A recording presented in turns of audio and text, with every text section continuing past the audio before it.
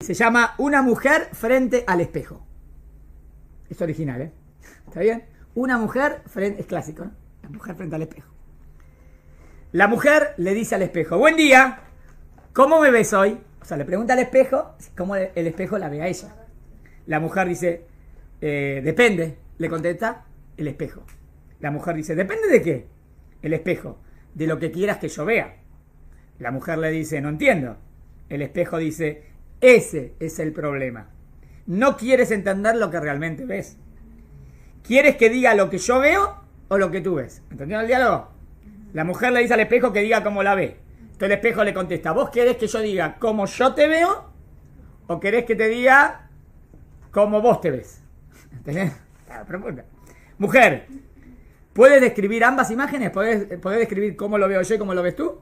Sí, le dice el espejo. Entonces la mujer le dice, a ver, ¿qué veo yo? El espejo le contesta. Tú ves cada mañana a una mujer que debe pasar largas horas frente al espejo buscando una aprobación, que se viste y arregla para satisfacer a los demás, que visualiza cada arruga como una amenaza para estar fuera de mercado y una cana como un atentado a la belleza eterna. Una mujer que lucha contra cada gramo de su cuerpo como si ellos fueran su peor enemigo. Alguien que ve defectos donde no existen y que no es capaz de ver su perfección. Esta es la visión. ¿Eh? El espejo, muy bien. Ahora, para, no, hasta ahora el espejo dijo lo que la mujer ve. ¿No? No dijo lo que el espejo le dijo cómo ella normalmente se ve. Mujer, mujer le dice al espejo, ¿y qué ves tú? El espejo. Un ser humano maravilloso, con el brillo de la madurez en sus ojos, glamour al caminar. Ese brillo y glamour que solo se le otorga a quien tiene el privilegio de acumular experiencia con los años, con seguridad en sus palabras, esa seguridad que todos anhelan y que ella no valora. Una mujer luchadora que ha sido capaz de levantar a una familia, un corazón lleno de bondad en cada gesto o expresión, una mujer persistente e incansable hasta lograr los objetivos. Hoy está hablando una mujer más, está bien, después de casada, está bien.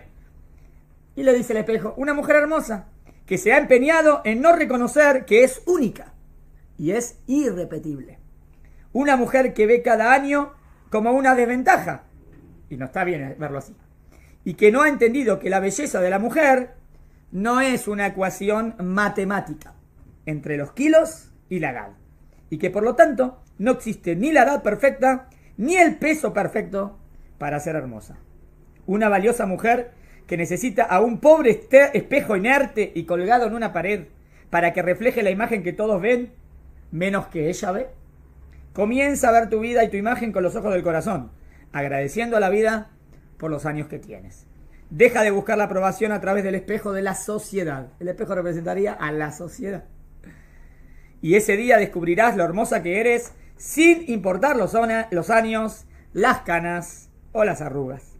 Gracias a Kadosh Barujú por las bendiciones que me diste, sabiduría, inteligencia, ternura, humildad y mucho amor en mi corazón. Me parece bien logrado el cuento, me parece fabuloso para hablar de verdad del alma, ¿no? Que a veces se confunde el cuerpo con el alma.